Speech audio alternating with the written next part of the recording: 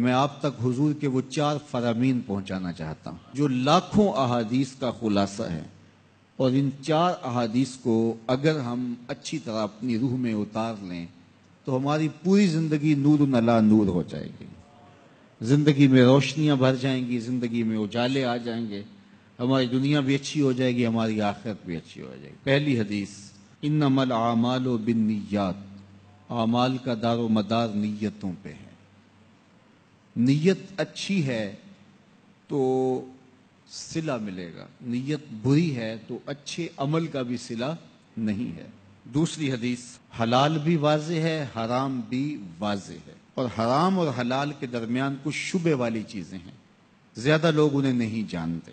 جس نے اپنے آپ کو شبے والی چیزوں سے بچا لیا، اس نے اپنا دین بھی بچا لیا، اپنی عزت بھی بچا لی۔ اور جو شبے والی چیزوں میں پڑ گیا، گویا وہ حرام چیزوں میں پڑ گیا۔ تیسری بات۔ حضور نے ارشاد فرمایا، کسی شخص کے اسلام کا حسن یہ ہے کہ وہ ہر بے مقصد کام کو چھوڑ دے۔ یہ اسلام کا نور اور اسلام کا حسن بندے کو نصیب ہوتا ہے اگر وہ بے مقصد کاموں کو چھوڑ دے۔ ہماری زندگی بڑی قیمتی ہے، ایک ایک سانس با مقصد ہونا چاہیے۔ لیکن ہم اپنے وقت کو کس آوارگی کے ساتھ، کس بے دردی کے ساتھ گزارتے ہیں؟ حضرت امام شافی کہتے ہیں کہ میں نے فقیروں سے دو باتیں بڑی پتے کی سنی اور انہوں نے مجھے بڑا نفع دیا۔ ایک تو یہ، الوقت و سیف ان پاتیون، وقت کاٹ دینے والی تلوار ہے۔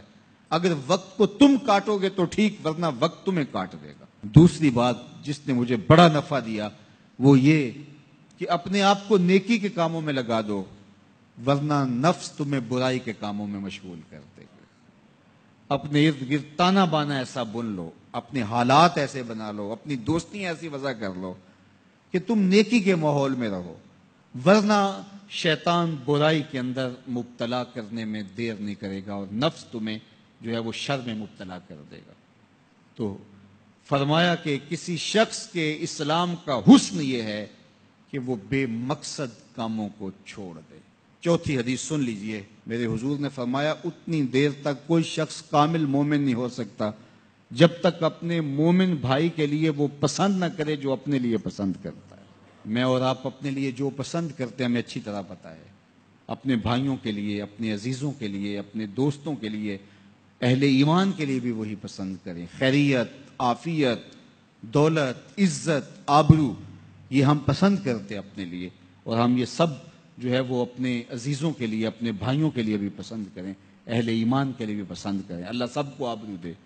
کسی کی عزت پہ حرف نہ آنے پائے، کسی کو دھوکہ نہ ہو، کسی کو فراڈ نہ ہو۔